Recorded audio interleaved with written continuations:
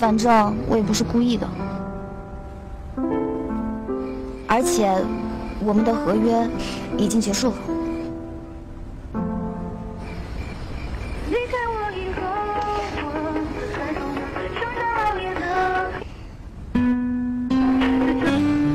我知道这次照片的事给幻真带来了很不好的影响，我道歉，但我真的不是故意的。我也不知道在那会碰到梁师傅，知道就好。该怎么做，你应该很清楚吧？但是我已经跟你说过了，我们的合约已经结束了。我还没有签字呢，在我签字之前，你永远是幻真的代言人，所以，请你离梁芝远一点。我也不能在契约上耗一辈子吧？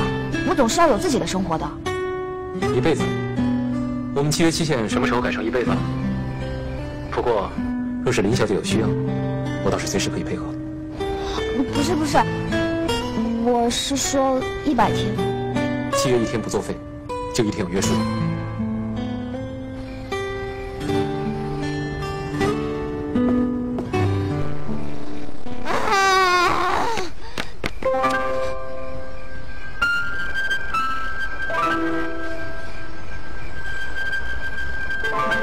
你怎么在这儿？路过。